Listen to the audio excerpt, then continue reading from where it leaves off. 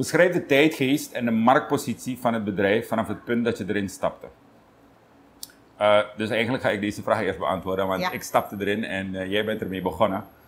Ehm, eh, ik focuste me toen ik in het bedrijf stapte meer op, eh, op het leerproces van Galaxy. Dus ik, ehm, ik bemoeide me nog niet zoveel met eh, de marktpositie. Dat kwam pas na jaren. Ehm, dus ik denk dat jij eh, dat gedeelte het beste kan beantwoorden.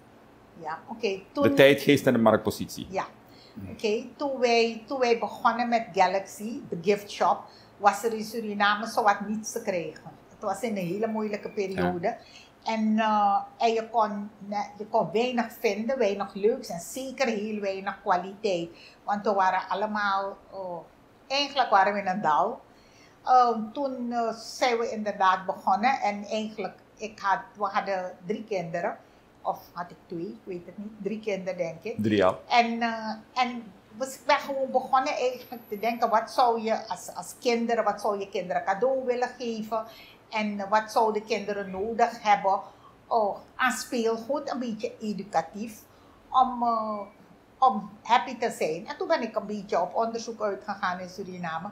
Maar toen heb ik heb ook besloten om een gift shop op niveau eh, te beginnen. En eh, het was snel heel succesvol. Eerst gingen we door voor super duur. Maar we zijn begonnen met Lego. Oh, Barbie was eh, heel erg in trend. Ja. En eh, elektrische autootjes, maar ook leuke mokken, schilderijen. En het waren spullen die je echt graag in je redelijk nog betaalbaar zouden zijn, maar die je graag in je huis wilde, wilde hebben. En ik denk dat we toen, naast de hoeksteen, dat was, die werden gesubsidieerd. De hoeksteen was aan de Gravenstraat, schuin tegenover de kathedraal. En die werden door de katholieke kerk gesteund. En daar had je ook wel wat, eh, wat spullen die je kon kopen. Ehm, ik heb zelf stiekem een paar keer, eh, toen ik niet genoeg voorraad had, bij de hoeksteen wat spullen gekocht. En, eh, en een kleine winst Ja. erop gezet en weer verkocht. Ehm, wat we wilden, en dat hebben we altijd gedaan, is altijd ervoor zorgen dat men waar voor zijn geld kreeg. Dus dat wil zeggen eh, dat, eh, want je, als startende ondernemer begin je met eigenlijk nul marktpositie, want eh, je begint bij niks. Ja. Maar voor wat ik me kan herinneren en de verhalen dat je me verteld hebt over de jaren heen over Galaxy, is jullie marktpositie heel snel gegroeid. Ja. Doordat eh, jullie iets aanboden dat er eigenlijk niet was, Ja. voor een redelijke prijs en kwaliteit. Ja, en eh, we waren zelf in de winkel. Jullie weten dat je Ja. eh, gewoon bijna verplicht werd om ook in de winkel te verkopen. Oh ja, Ja. absoluut. Dus, maar niet alleen verkopen hoor, ook schoonmaken. Ook schoonmaken, want dat hadden we toen niet. Ja. En we, zijn, we zijn goed gegroeid. We hebben elk jaar een groei meegemaakt.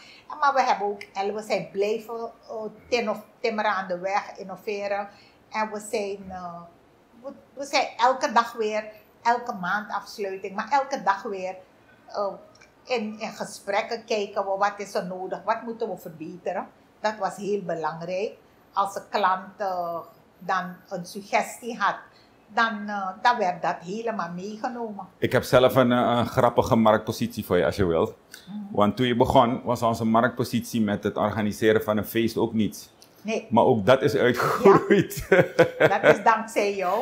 Ja, toen hadden we het personeel, vader en moeder en drie andere mensen. Op trottoir was het Op feestje. het trottoir met de Eh, radio. Ja, met die foto van die memorabilia daar was het. Ja. Dat kan ik me herinneren. Ja. En dan kwamen er, om de zoveel tijd kwam er een bandje langs. Hè? Ja. Je had van die bandjes op straat, die eh, gaf je zo wat zakcentjes en dan eh, speelden ze muziek voor Ja. je. Ja, en toen begon, zo is het feest eigenlijk van Galaxy uitgegroeid. Orojari. Toen begonnen we, dat is ook een leuk ding om, om een leuke memorabilia Ja. in, eh, voor een heleboel mensen. Toen begonnen we, jij hebt het toen opgepakt heel snel. En het werd à la jou groter en groter. Maar wat leuk was, wat ik altijd, wat wij altijd heel leuk vinden, is dat we, we kookten. En Ja. dat deden we gewoon zelf thuis bij, bij ons. Daar stonden we om vier uur op en dan maakten we potten met bruine Ja. bonen. En kort tot de laatste keer was het voor 500 mensen Ja. eten. En iedereen mocht gratis komen. En ehm, we zorgden ervoor dat je een portie eten kon halen. We schepten zelf op. Ja. En uh, je mocht eten voor je aan het feesten begon. Dus wat dat betreft is onze, bij, is onze tijdgeest bijna niet veranderd, want Nee. we doen gewoon hetzelfde. Ja, precies. We hadden. Alleen we hebben- groter. ja, en we zijn later, we maakten rumpunch. Vroeger was Ja. het gratis. En toen besloten we er een sociaal doel aan te Ja. koppelen. Dat was eh, ook jouw idee, denk ik. En eh, als we de rumpunch verkochten, misschien wil jij vertellen over de bekers.